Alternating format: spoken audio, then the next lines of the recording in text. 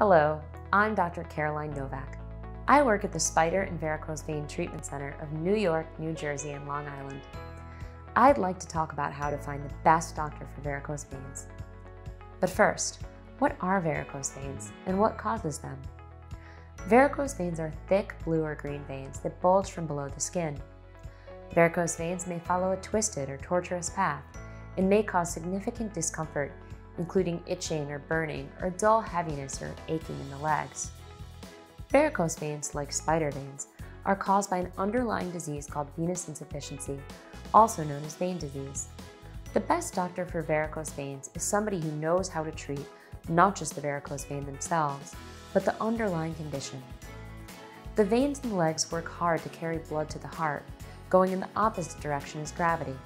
Over time, valves within the veins may become leaky. Instead of closing and preventing blood from going back downward, the valves remain slightly open. Blood pools in the veins below the valves and the pressure increases. This causes varicose veins to form. I think of varicose veins like stains on the surface of a wall. The real problem is actually a pipe within the wall. The leaky pipe leads to the stains. So in order to fix the stains, you can't just repaint the wall. You need to address the underlying leaky pipe first. A good doctor for varicose veins will start by doing a comprehensive assessment. What's going on underneath the skin? At my vein clinic, we usually perform an ultrasound to find out where the varicose veins are coming from so we can determine which vein treatment is best for you.